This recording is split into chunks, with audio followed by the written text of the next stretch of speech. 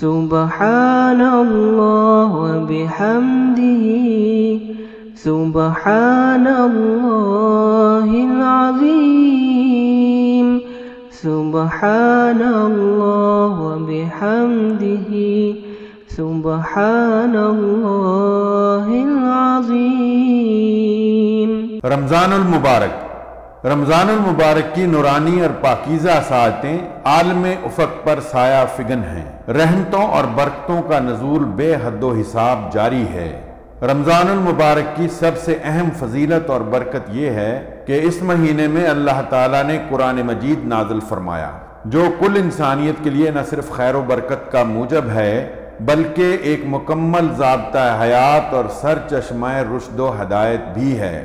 آسمانوں کے دروازے کھول دیے گئے ہیں، جہنم کے دروازے بند کر دیے گئے ہیں اور شیطان زنجیروں میں جکڑ دیے گئے ہیں۔ اللہ تعالیٰ پکار رہا ہے۔ دوڑو اس کی رحمت اور مغفرت کی طرف توبہ کر لو۔ ان الحمد للہ والصلاة والسلام علی رسول اللہ۔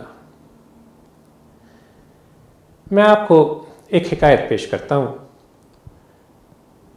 ایک بزرگ تھے، ایک زمانے سے کسی بستی میں ٹھہرے رہے۔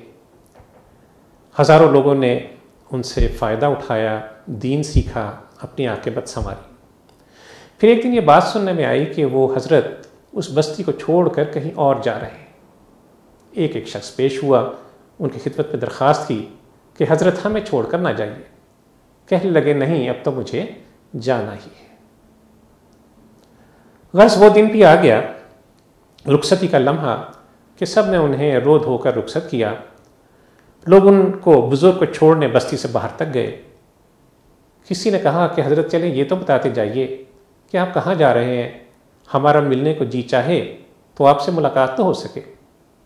کہنے لگے ہاں ضرور، میں فلاں فلاں بستی کو جا رہا ہوں۔ اور جب وہاں پہنچو تو کسی سے پوچھ لینا کہ جھوٹوں کا محلہ کون سا ہے، میں تمہیں وہیں ملوں گا۔ یہ کہا اور وہ وہاں سے رخصت ہو گئے۔ چند دن گزرے تھے کہ ایک چاہنے والا بے قرار ہوا۔ جس بستی کا انہوں نے پتہ بتایا تھا، وہاں تو وہ بآسانی پہنچ گیا۔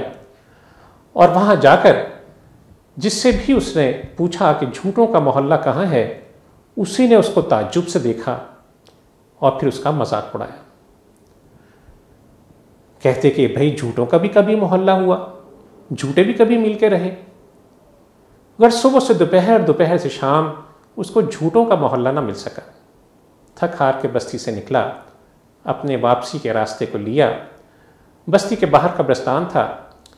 ذرا دیر سستانے کے لیے، تھکن مٹانے کے لیے قبرستان کی دیوار سے ٹیک لگا کر بیٹھ گیا۔ دور ایک شخص نظر آیا۔ کہنے لگا کہ اس سے پوچھتا ہوں، شاید اسے ہی کچھ معلوم ہو۔ اٹھ کر اس طرف چل پڑا۔ قریب پہنچا تو ہر حیران رہ گیا۔ ارے، یہ تو وہی بزرگ ہیں جن کو میں صبح سے ڈھونڈ رہا تھا۔ دوڑا اور ان سے جا کے لپٹ گیا۔ اسلام دعا کے بعد گلا کرنے لگا کہ حضرت صبح سے آپ کو ڈھونڈ رہا ہوں اور بڑی مشکل ہوئی اور اب آپ آ کے کہیں مجھ سے ملاقات ہوئی۔ آپ کو بہت تلاش کیا لیکن بہت مشکل ہوئی۔ وہ بزرگ کہنے لگے، بھائی، کیوں؟ کس لیے مشکل؟ کہنے لگا، حضرت، میں نے جس سے بھی کہا کہ جھوٹوں کا محلہ کدھر ہے، اس نے مجھے بڑے تعجب سے دیکھا اور پھر میرا مذاق اڑایا۔ کہ جھوٹے بھی کبھی مل کے رہے ہیں جھوٹوں کا بھی کبھی محلہ ہوا۔ ہے یہ سن کر وہ بزرگ مسکرائے، کہنے لگے، عزیزم، یہی تو جھوٹوں کا محلہ ہے جہاں تو بیٹھا ہے۔ ان میں کوئی نمرود تھا، کوئی شداد، کوئی حامان تھا، کوئی فرعون، کوئی قارون۔ یہ سب کہتے رہتے تھے، میری حکومت، میری سلطنت، میری فوج، میری بادشاہت، میرے محلات۔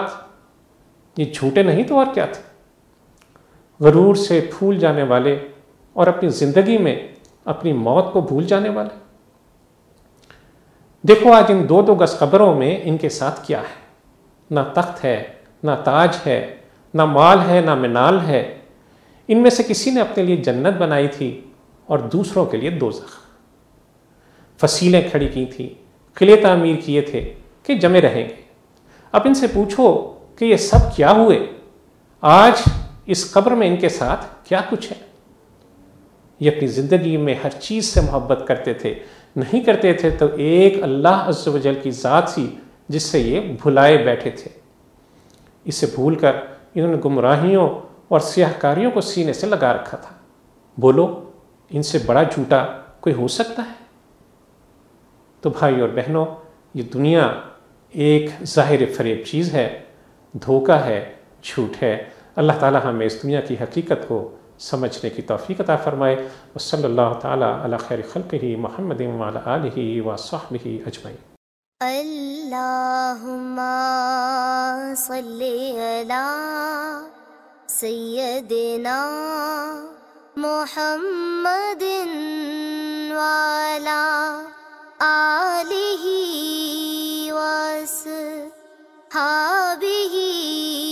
وسلم.